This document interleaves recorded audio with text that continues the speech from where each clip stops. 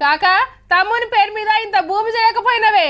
ఏ చేద్దామనే ఉందిరా కానీ పాస్ పుస్తకాలు బ్యాంకులో చిక్కబడ్డాయి లోన్ కడదామంటే పైసలు లేవు. సర్కారేమో మాఫీ చేయదాయే. ఇది ఎక్కడి కథరో? నేను లోన్ తీసుకున్నది అరవై వేలు. ఇవాళ లక్ష దాటింది.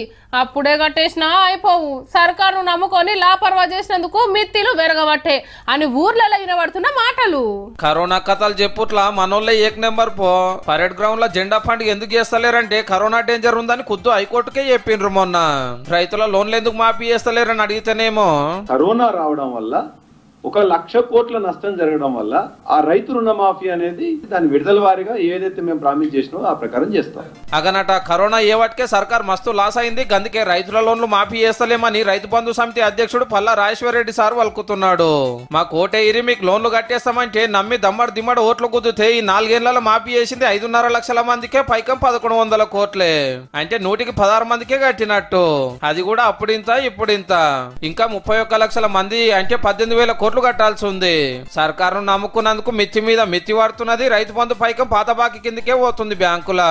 ఈ కూడా గెలిపిరి గప్పుడు మాఫీ చేస్తామంటారేమో. కానీ కరోనా టైంలోనే ఉన్నది కూలగొట్టి కొత్త సచివాలయం కట్టుకుంటానికి జిల్లాకో కలెక్టర్ ఆఫీసు ఎమ్మెల్యేకో క్యాంప్ ఆఫీసు ఉప ఎన్నికలు వస్తే వేల కోట్ల కొత్త పథకాలు పెట్టడానికి పైసల తిప్పలు రాలే గాని రైతుల లోన్లు మాఫీ చేస్తానికి అయితే కరోనా అయ్యే వాటికి పైసల తిప్పలు అవుతుందన్నట్టు. రేపు రేపు ఇండ్లు కట్టంది జాబులు ఇయ్యంది నిరుద్యోగ భృతి వంచంది కొత్త పింఛన్లు సాంక్షన్ చేయండి ఇట్లా ఏది అడిగినా కారులు కరోనానే ఆపింది అంటారేమో పో.